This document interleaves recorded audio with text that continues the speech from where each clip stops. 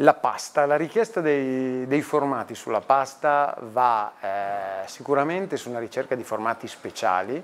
ma vedo con piacere dalle esperienze che abbiamo con eh, molti chef anche un ritorno al passato, quindi non solo la ricerca di nuovi formati da, dalle forme particolari o trafilati in maniera particolare, ma anche un ritorno al passato. Settimana scorsa ho avuto modo di confrontarmi con una bravissima chef che mi ha scelto un formato che ad esempio nel, nelle zone dove principalmente operiamo eh, non viene utilizzato, che è un ditalino. Ditalino, questo formato che ti evoca l'emozione, ti ricorda la nonna quando andavi a mangiare eh, la zuppa dalla nonna, viene reinterpretato magistralmente da, da degli chef che ti ripropongono questo piatto che è pura emozione, perché nel momento in cui lo mangi senti eh, il ricordo della piacevolezza del fine settimana con... Eh, con i tuoi genitori o comunque con, eh, con quelli che sono i tuoi ricordi, ricordi del passato. Poi è altrettanto vero invece che ci troviamo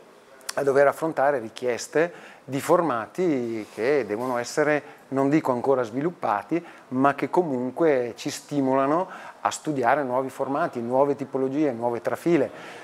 Stiamo testando in questo periodo una trafila che andrà a replicare un soggetto architettonico che non, che non è contemplato nel mondo pasta, ma che comunque vedrà l'interpretazione di uno chef in un piatto studiato ad hoc per quel tipo di formato. Allora, se parliamo della pasta reidratata,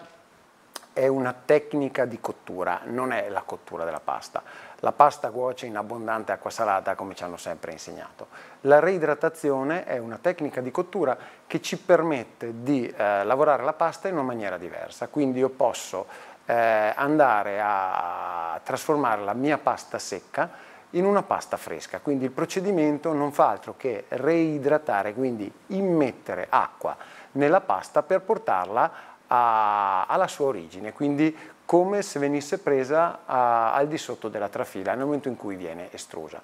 La reidratazione può essere però anche un processo che mi permette il riutilizzo in cucina di quelle che sono delle basi, delle preparazioni. Eh, cerchiamo la sostenibilità, eh, cerchiamo di avere meno spreco possibile nella, nella, nostra, nella nostra cucina. Quindi la reidratazione potrebbe essere semplicemente anche la volontà di recuperare un brodo di pesce che non avrei utilizzato, quindi io reidrato la pasta in questo brodo di pesce freddo e la pasta andrà ad assorbire il sapore che il brodo stesso aveva e quindi potrò realizzare un piatto riutilizzando un, eh, un, eh, un prodotto che avevo utilizzato per un'altra preparazione, quindi diventa anche sostenibile e di rispetto per quelle che sono poi le preparazioni e il consumo dei prodotti all'interno di, un, di una cucina.